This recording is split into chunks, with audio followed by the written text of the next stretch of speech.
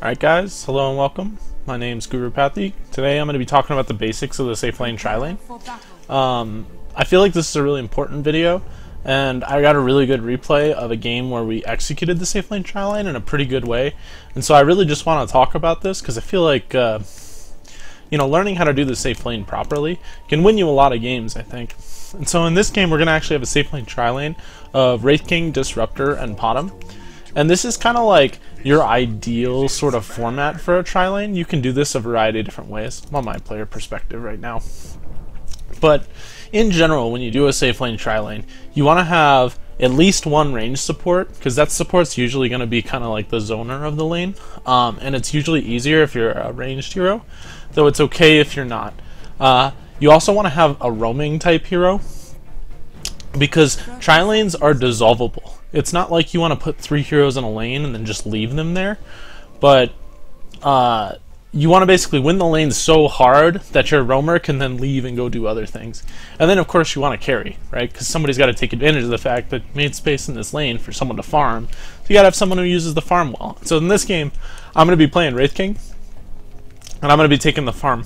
And uh, Potom's kind of filling that roaming role, and then Disruptor is going to kind of fill that like zoning range support sort of hero role. And you can really build tri lanes a variety of different ways. You know, uh, because we have a little bit more of an aggressive carry in that I have a stun, we put we took a little bit greedier of a uh, support uh, in the Disruptor because Disruptor kind of needs a few levels before he comes online and you know Potom's a good roamer here, but there's tons of combinations like mix and match. You know, if you've got a Spectre, for instance, maybe you want a hero that's a little bit less level dependent and a little bit better at zoning. You know, like the Skywrath mages or the Witch Doctors of the world. Um, but those heroes fall off a little harder, don't do as well with farm. Although Witch Doctor Ags is pretty good, so maybe he's not the best example. But Skywrath is a very good example because that hero does nothing in the late game versus BKBs, unless he gets massively like tons and tons of kills in the mid game. But then you also kind of want like that roamer role in the Mirana because you're going to dissolve the tri-lane at some point. So this role could be like a Pudge, a Spirit Breaker, a Potom, an Ogre. Like lots of heroes can roam. Uh, so I'm not going to like limit that. But big thing you notice, first thing I do, get out to lane. What's the purpose of this? right? I'm getting out here because I'm trying to deny the offlaner from putting down a ward anywhere, right? Like ideally I don't want to put him on this camp, but I do want him putting it somewhere in this area uh, such that it just gets dewarded. Even if I can see it, it's not a big deal. But I get out here, no one's here, right? Undying's a little bit slow on the pickup. He didn't get out of his base in time. So big thing, get out of your base early and often, right? That's the one of the biggest things. You can see disruptors out here too. Um, when you're talking about support items, most of the time in the safe lane, tri lane, you want to be building a lot of regen. And like this game, I went for a lot of regen. I have a little less gold because we wasted time to pick. I actually first picked Wraith King this game, hence why there's a Quasplex Invoker, a Mana Draining Lion, and then an Undying. It's like whatever. I'll show up to the lane and bully this Wraith King. So I got kind of counterpicked this game. Uh, items for your supports though. Supports are usually going to spend some of the wards. Uh, Disruptor is a little richer because he randomed and that's fine. And then the Potom also is a little bit richer. The only thing, the only comment I'll make about the support items is they should have a set of sentries to deward the offlaner's ward or to deward the top lane. But that's like the only thing that I could say about their items. They just went a little bit greedier, and I think you'll find that a lot in games. But I almost always buy sentries. That's my deal. And so now what happens is we end up contesting the top rune, and this kind of ends up being a misplay by me, but Disruptor gets a really nice ward out in the lane early. And so what this allows me to do is it essentially allows me to roam to the rune and maybe create a fight. Right? Because if somebody's here to see where Undying places his ward or prevent him from placing his ward where he wants to, then I'm allowed to sort of contest the rune.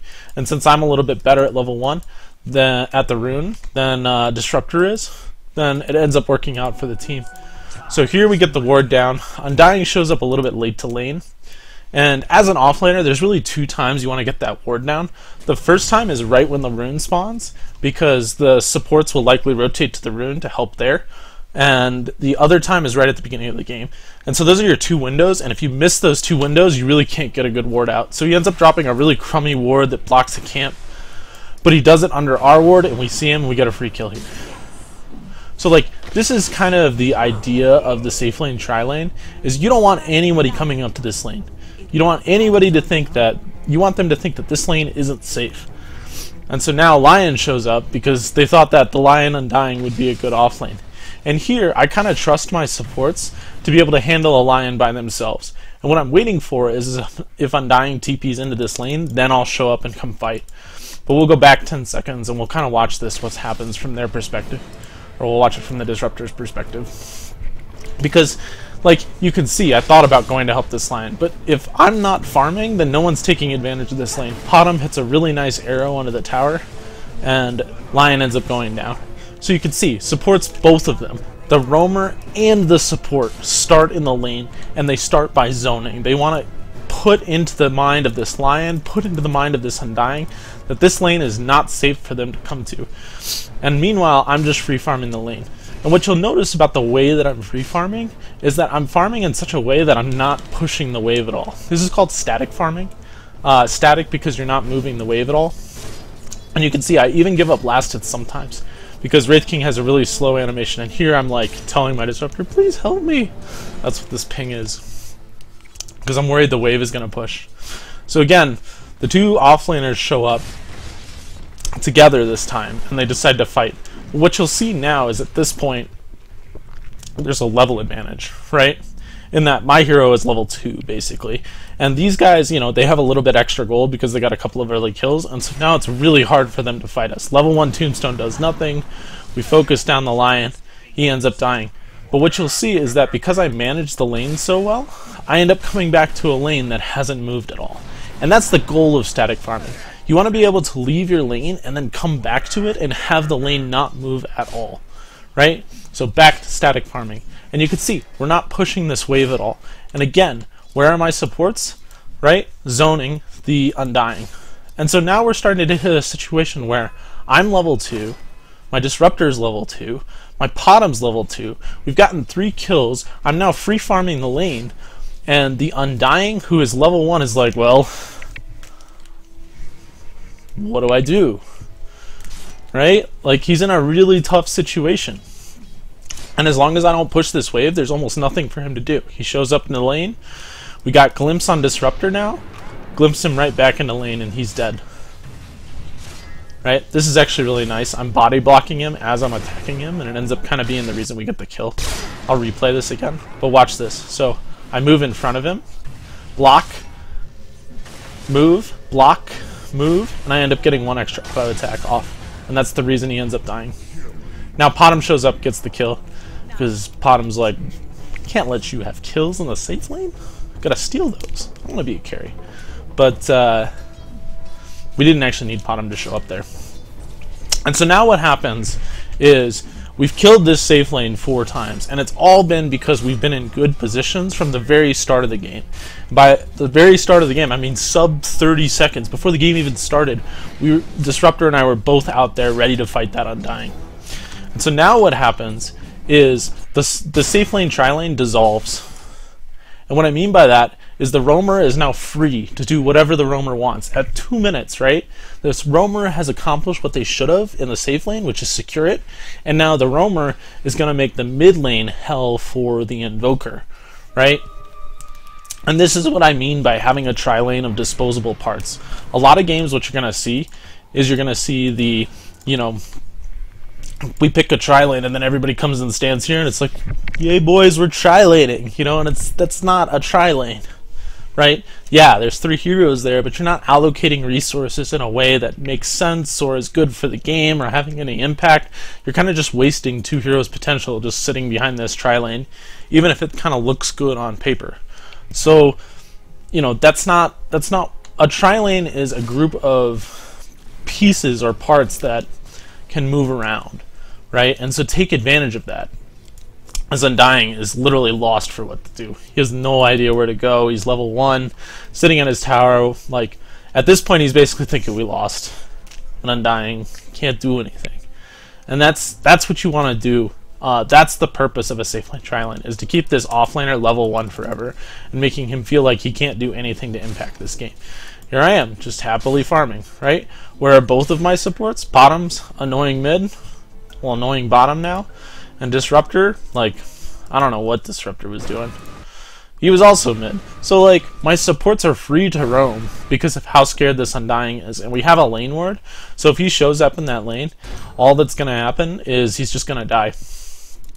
Right? And so here, Undying kind of makes a move up.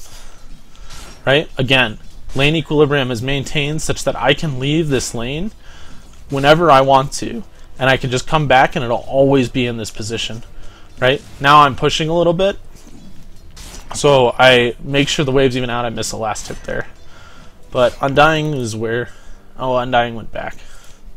Where did he go? Thought he was walking up for the rune. No, he ended up walking back. But you can see, like, I want to keep the equilibrium such that I can leave and go fight their offlaner if I if need be, and then come back to the lane that's fine for me. So we're gonna fast forward a little bit because I feel like, you know, what you're basically gonna watch me do is you're gonna watch me farm a Midas, and uh, Disruptor is kind of gonna do other things. Oh, this is a good point too. So once the offlaner has left the lane, you want to start maximizing experience on your support. Let's see, he doesn't end up doing anything here. He wants to pull. He will pull in a minute.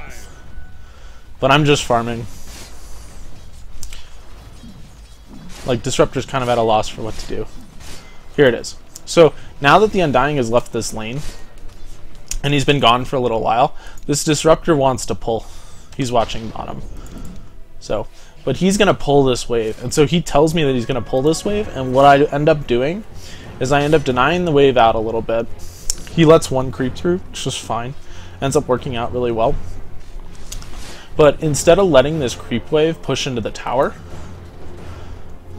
right? What I end up doing is I end up tanking the wave here. And the goal of this is I know he's single pulled. He told me that he was single pulling. And a single pull isn't enough to kill the wave. What ends up happening is Disruptor gets a bunch of experience from this single pull, and then we keep the creep equilibrium where we want in the lane.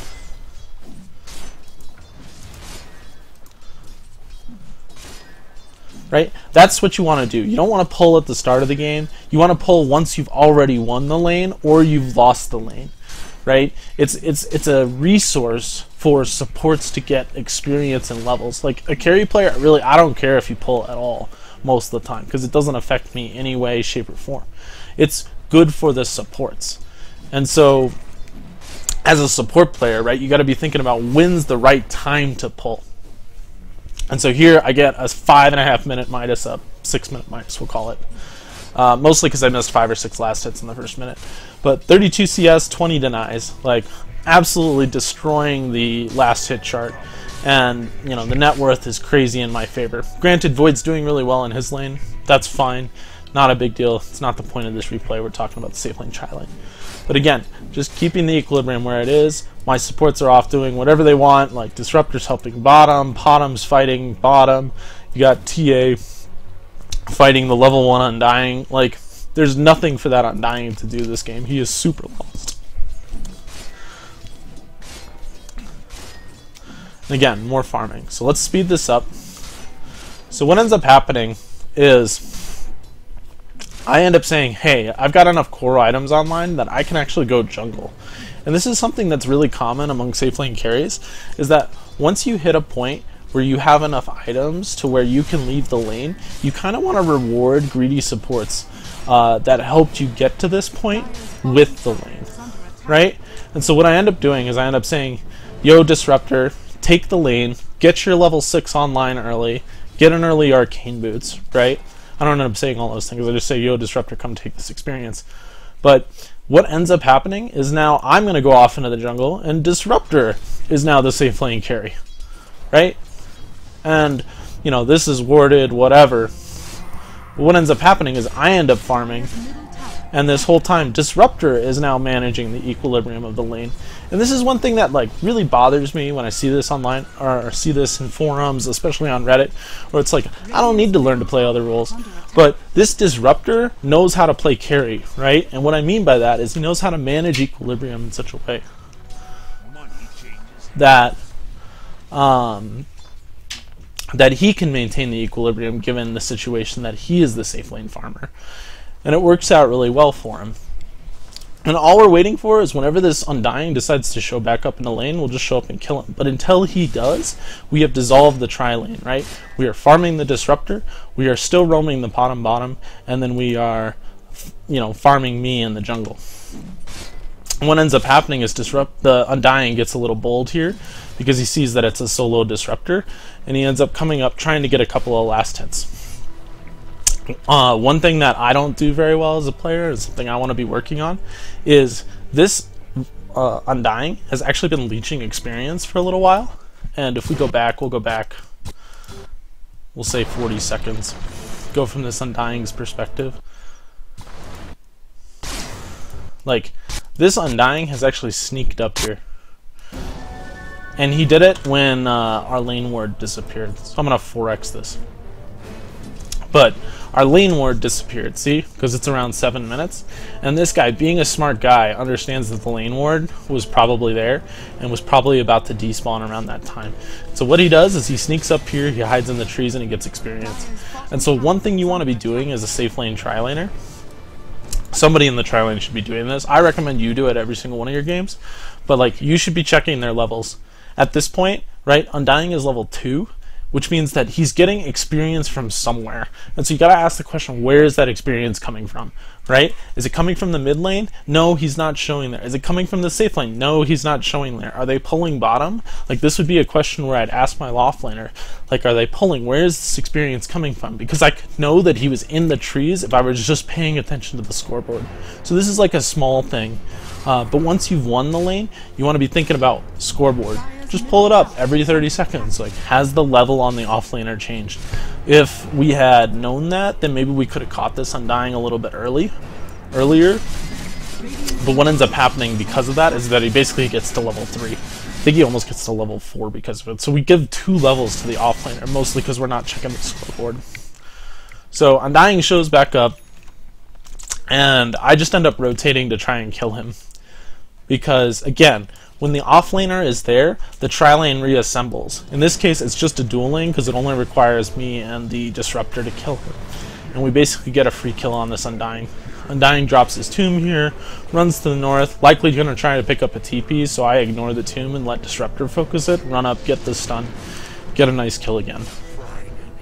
Right? Your tri-lane's not always going to look like this in pub games. And I would say, you know, of the pub games that I play, uh, I would say 20% of them we have an executed like well safe lane, uh, or a safe lane that is executed well.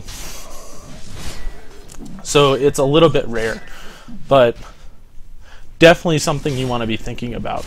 And now what we've reached is we've reached the 10 minute mark, or almost reached the 10 minute mark. And so what I'm going to do is I'm going to pull up the scoreboard and sort of show you the game. And this is mostly what what you want to be seeing when you're looking at a safe lane tri lane is an 0 and 2, 0 and 1 low level offlaner who's essentially a support now with high level supports, high level carry, and a roamer who's been able to get into the game, helped out the mid lane. The mid lane's doing really well because it's essentially been a 2v1 from two and a half minutes on. Like, this is how you win games Alright, before I end this video, a couple things I want to talk about. There's a couple other things I want to mention about this replay. But what you'll notice now is that we've also rotated the tri-lane to where Potom is now the safe lane farmer in the tri-lane. And so, do you see what's happening in this game? Right? Do you see how interchangeable the roles can be? And do you see how we're taking advantage, maximizing our farm? Right? Disruptor got his arcane boots online, he got a TP, he was able to buy wards, has tons of gold, and meanwhile, now Potom, who achieved a lot of roaming in the mid game, is now allowed to farm up items to where she can transition to a little bit of a semi carry, and still the carry is farming. Last thing I'm going to say about this video is, you know, as I'm farming this jungle, I see an opportunity to join a team fight bottom because I feel like I'm really strong right now, and I feel like as a team we're pretty strong. Uh, Disruptor is, is calling for a team fight bottom. You know, I've got a Midas. I'm going to use my Midas, and I basically just end up TPing to try and defend this tier one. And you know, this fight, we're not going to necessarily talk about this fight. I go on a bad target because I'm dumb, and they get a really nice chrono. They kill our disruptor. We don't necessarily lose this fight, but it's not the greatest fight for us. But what you need to be paying attention to is on the minimap what's happening, right? This offlaner has not been able to get anything, and now at 11 minutes, he finally gets the opportunity to get a couple of last hits, that little bit of experience, right? The lane is becoming easy for him. He is finally able to do something but oh wait, I'm an Undying, I need to be helping my team in mid-game team fights, right? Offlaners in general are these heroes that are mid-game team fighters or mid-game dominators or essentially just heroes that do things in the mid-game. And when this hero, like, he can't afford to farm now, even though there's space top, he's got to come and try to help his team bottom, right? This is why, like, in pro games, you don't see Undying in the off lane, right? Every single off lane in a pro game has something to fall back on, right? And that's why I get mad when I see, you know, the Necrolytes of the off lane, because uh, 4Ks think Necrolyte's a great dual off laner, and he's okay. He's actually terrible. I hate it.